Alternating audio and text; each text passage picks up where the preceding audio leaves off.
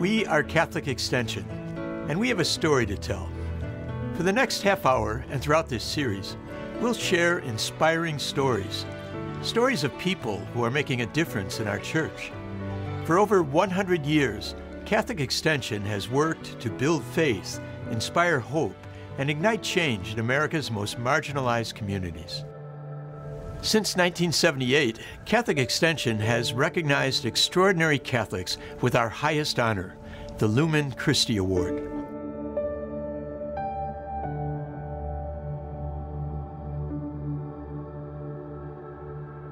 Catholic Extension puts a spotlight on the extraordinary acts of faith and devotion that take place in our mission dioceses every day.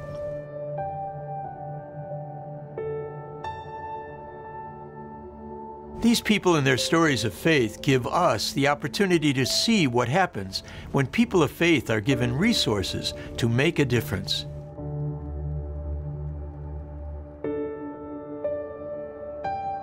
Catholic Extension recently presented the Lumen Christi Award to Father Enrique Herrera, a priest from California's Salinas Valley, who has inspired and transformed an entire community.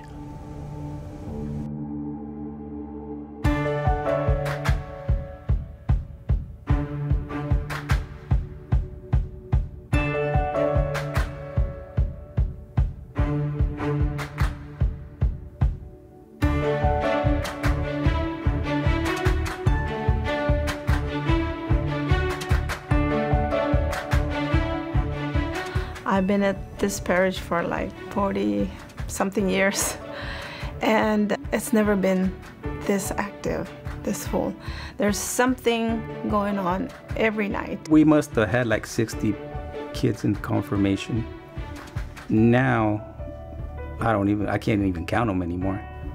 The bishop had to come do two masses in one day because there's so many, and that all started with him. When I came to this town, I saw the reality, the parents working on the fields with no time to take care of their kids and uh, facing of these challenges of crimes, uh, gang affiliation, drug. Half of the population here are under 18 years old. More than 446 kids did the, the first communion this past May. That's why I start doing all these activities and programs just to help and support our kids.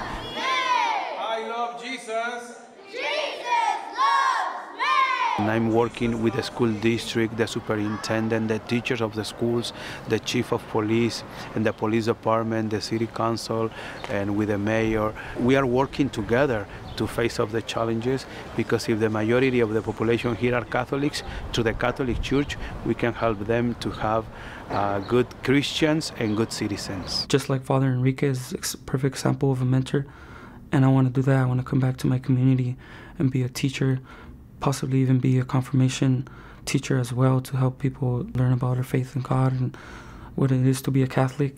He's definitely brought in a whole new set that's definitely reamped the whole program and it's definitely made it more popular and more exciting for the kids.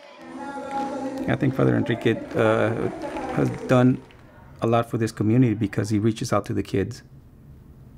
And by reaching out to them, I think that's what's changing Greenfield right now. I've been talking to my kid. Now the high school doesn't look like before, he says. And gang members or whatever, it's going down. It's not as bad as before. When he got here, Greenfield was very tough to live in.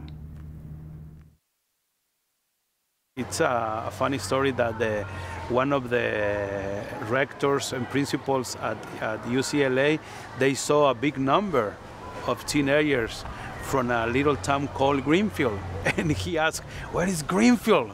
Because he saw the energy, the enthusiasm, and the positive energy of this group of kids. He is always encouraging all the parents to participate in the education of their children, um, always motivating the children to come to Mass, and always pursuing that um, goal of wanting to make this community a better place for everyone. I started doing meetings with uh, the pastors, the Christian pastors in the community too. We used to come once a month to have breakfast and to pray together for our community and to look and to see how can we serve uh, from our churches the community. I think that's what Father Enrique is doing. You know, he gets involved in our community. He gets uh, he gets in the flock. He, he, he's a good shepherd. My hope in 10 years is to see that all the kids and teenagers will be Catholic people participating fully in the in the life of the parish. That's my hope. That what we are doing now in 10, 12 years, they will be a very active part because the church came very important part in their lives as kids and teenagers. They will be here. And we are doing something now for them, teaching them the Catholic faith. We can be the light of Christ for them. To put our own life of every day close to the values of the gospel. And in that way, we can transform the community, putting the social needs of the people close to the values of the gospel. And if I have a voice as a priest, I would like to be the voice of the voiceless.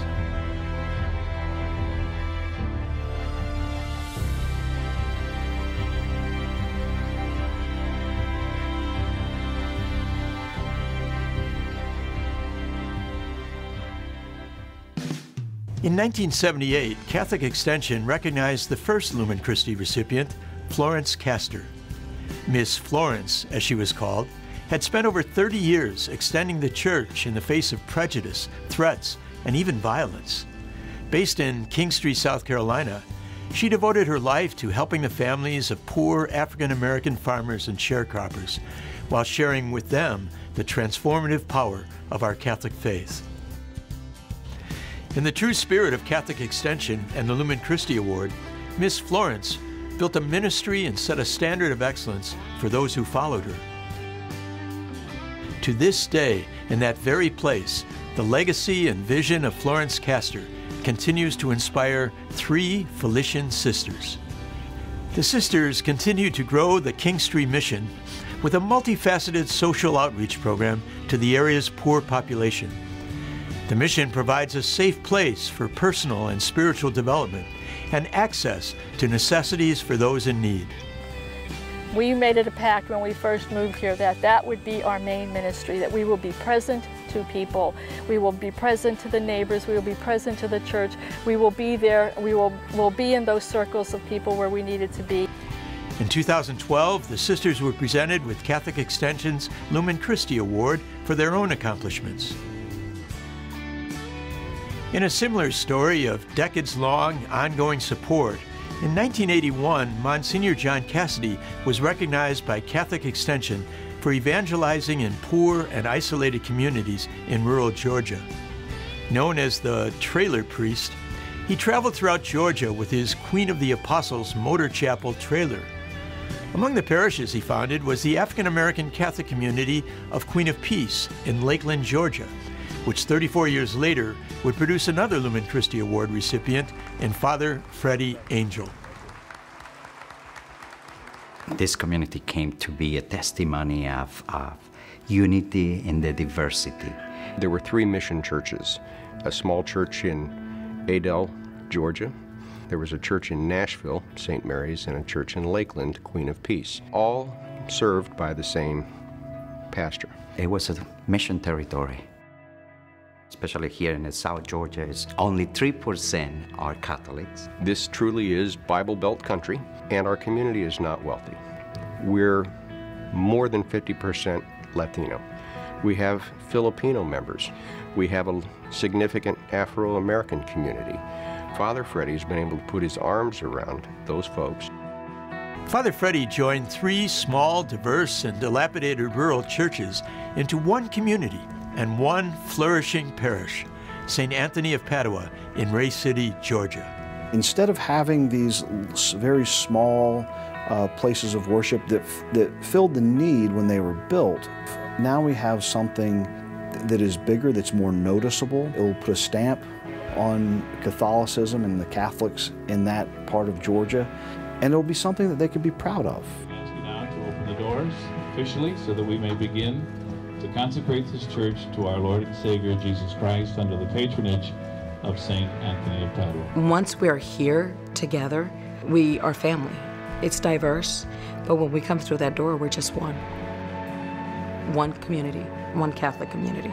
Everybody enjoys everybody. You know, you get to know different people, different culture. The multicultural aspect, it, I think it shows us how we can expand our faith. It is the mission we have to, to unify, to, to be one with Christ and as Christ is one with the Father. It was really the, the support and the interest of the Catholic Extension Society that made this a reality for us. It encouraged others to do what they were doing, helping us. And they started helping each other. And they started seeing the bigger picture and what they could have if they wanted it. I don't know how far back our relationship with Catholic Extension goes, but when I travel around the diocese, um, I can see plaques from the 50s and plaques from the 60s. Catholic Extension has enabled the Diocese of Savannah to really reach uh, so many people and to, to, to establish the church and build the kingdom of God in all parts of, of South Georgia. This is a model of church that is the reality. This is a model of church that we're going to experience in our country over the next 50 years. It is a very joyous moment for this community. The dream is coming true. It has been an awesome journey.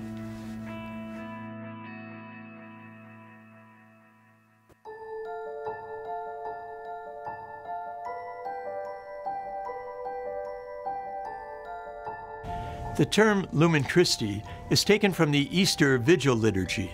The paschal candle, after it has been lit from the Easter fire, represents the light of the risen Christ, breaking the power of darkness and multiplying through the faith of all the people of God. In that Easter spirit of rebirth and renewal, Lumen Christi recipient Melva Arbello provides a safe haven for neglected and abused children in a part of the U.S., Puerto Rico, where families and children are turning to the church for help after decades of economic failures and more recently, the utter devastation of Hurricane Maria. They comes with nothing here. But they has scars in their hearts. They have uh, dreams in the, in the night that they scare, they cry, and we are their uh, support for them. And we start to offer all the services that dignify their persons. We offer nutrition, uh, education, medical pediatrics, psychology, uh, social worker, recreation, and spiritual life. To see the smile in the face of the of the children, that's for me the best.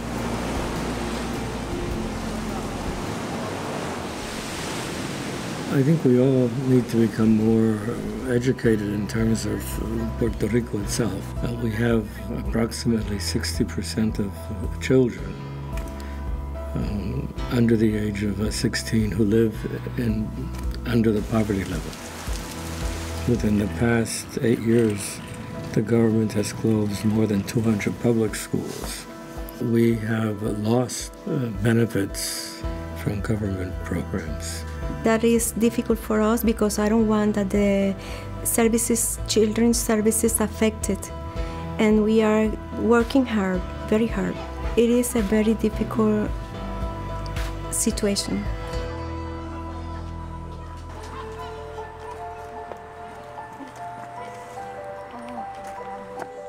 They love go to church. And it, it is a special moment for them.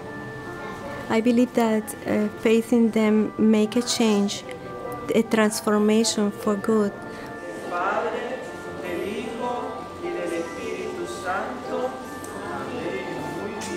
I'm started like a volunteer in 1999, and um, I I like to serve. I like to be with all the children, uh, making transformation in them. But, but for me, it's not a work, it's more than a work. It's a mission that I have to continue. The first persons who, come, who start here was the sister, so I just continue the work. As a Catholic people, to, to understand that There are bonds that unite us and that should strengthen our sense of solidarity and charity and diversity, the spirit of mutual respect. I believe in them. I believe in these uh, children. I believe that Puerto Rico has uh, opportunities if we extend the hands to them because they are the future of our island. When we are in peace, I can feel the God here and I grow in faith here. Catholic Extension's Lumen Christi nominees and recipients include a diverse group of people and ministries caring for children in the poorest areas of our country, including the principal of a school for Native American children in northwestern New Mexico.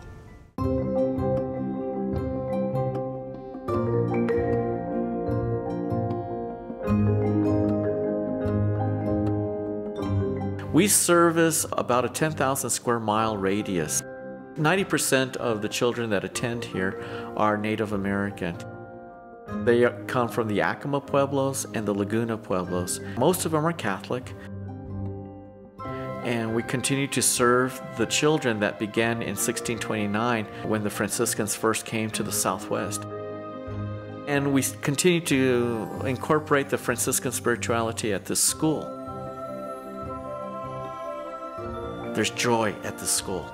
The children are smiling, they're happy, and that's all because of the whole evangelization process happening because it centers around the concept that we are loved by God through and in the incarnation of Jesus. We only started with 12 students here, and now we're at 60 students. The human race has to acknowledge each other the human race, they're all created equal. And we need to be equal and to try and foster that as, as we go forward. This world is a difficult world to live in, but we have to try. We have to keep praying. We have to be strong in belief and let the Creator be a part of that. Most of all, we've brought back a sense of Catholic identity. And that was done through Catholic Extension helping me to go through a program called the Catholic Leadership Program at Loyola Marymount University. And here I was able, through that program, bring a sense of spirituality, a sense of Catholic identity, and a sense of mission within the Catholic Church to evangelize and touch the hearts of the children we serve.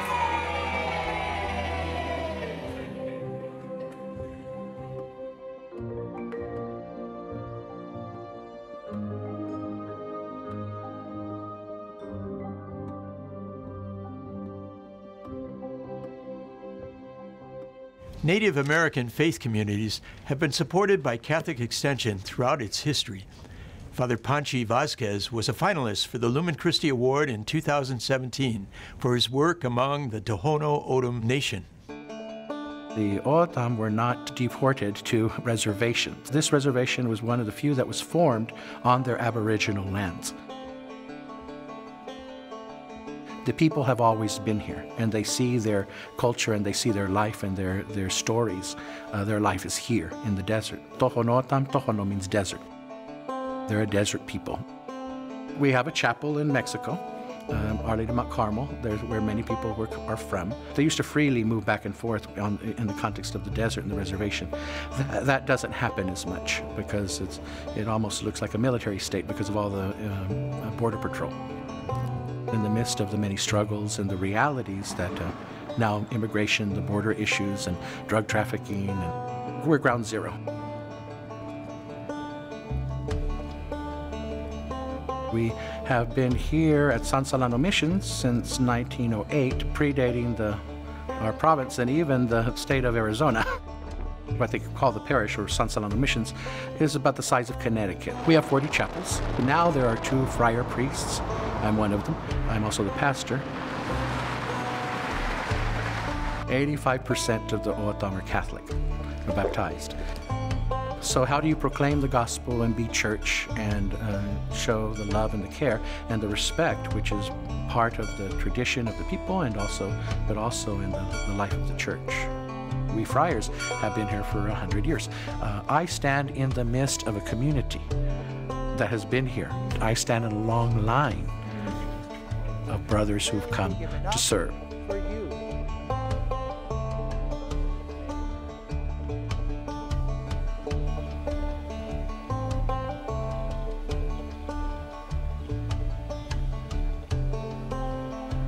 Three very special sisters were presented with the Lumen Christi Award in 2014 for their work in helping poor families pull together to build a community center, a medical facility, and a parish in a colonia near McAllen, Texas, at our border with Mexico.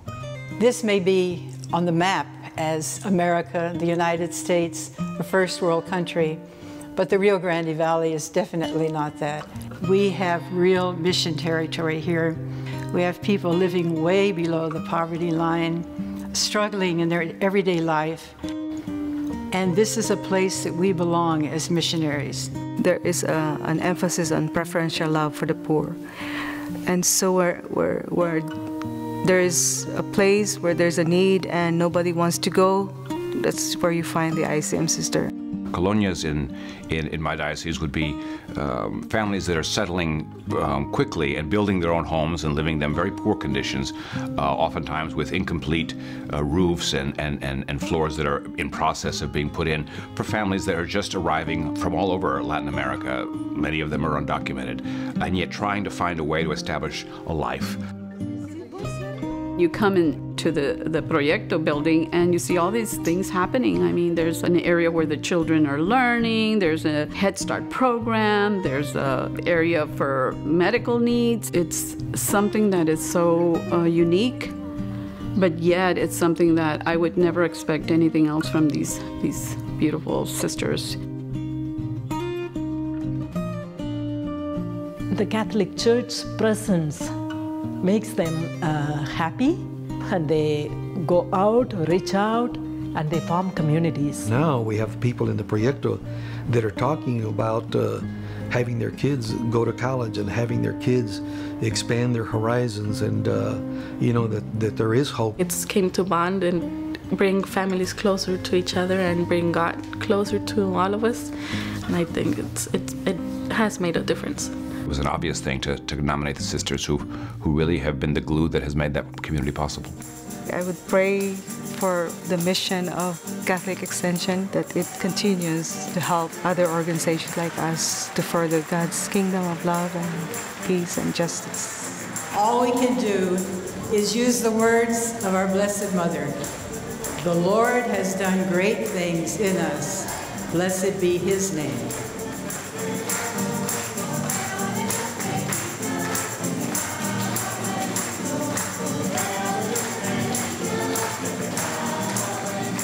The 2017-18 Catholic Extension Lumen Christi Award recognized, celebrated, and provided continued financial support for the accomplishments of Father Enrique Herrera. The son of migrant workers who traveled from Mexico to work the farms of the Salinas Valley in California, Father Enrique has worked with local families, school leaders, and city officials to build opportunities and education programs for young people. This living ministry is a powerful example of the transformative power of faith at work in a community, an inspiration for Catholics everywhere. This procession is a march of faith, and all the groups and communities and families walk together. So beautiful to see so many people uh, from different backgrounds and people who have been here a long time, people who have been here a short time, uh, people that have families elsewhere, but they felt very much welcomed here. You know, they're always opening their doors to others, to new people coming. And it's a great gift that Father Enrique has been here as their pastor because he's opened those doors for the people. ¡Viva Cristo Rey! ¡Viva nuestra fe católica! ¡Viva el Papa! ¡Viva Cristo Rey! When you have a beacon like this, people where they can flock to and believe and entrust uh, their faith in someone like Father Enrique, that he is guiding them in the right direction, I mean, that is the definition of a beacon. And it, it's his presence, it's the way he carries himself, uh, that he makes them believe in what they're saying. He makes me believe in what he's saying. He's the light of Christ by also being a, an exemplary priest to, to all of us, to, to be there when the community needs it. He is a leader that everyone follows, that everyone trusts, that if there's anything that we need help with, he's there. That if there's anything that we don't find an answer to, he's there. So he is pretty much our, our pastor. I'm so happy because this is a good opportunity for the community to experience the light of Christ in their own lives, in their families, and for the parents and grandparents to see the kids and our youth growing here in this community with faith, with love, with tradition, with a good sense of uh, the Catholic faith. Padre Enrique, receive the light of Christ, Luz Cristo. Recibe la luz de Cristo.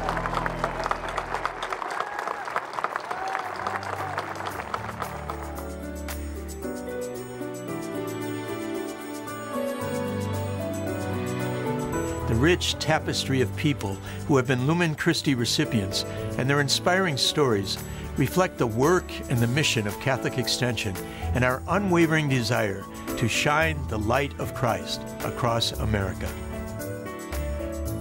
I hope you've been inspired by the people and the places we've shown you today.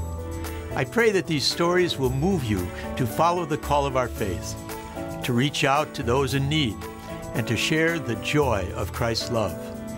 What an exciting time to be Catholic in our country.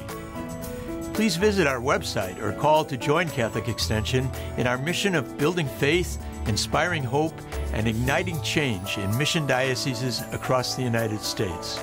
I look forward to the next time we meet here on Catholic Extension. May God bless you and all whom you love.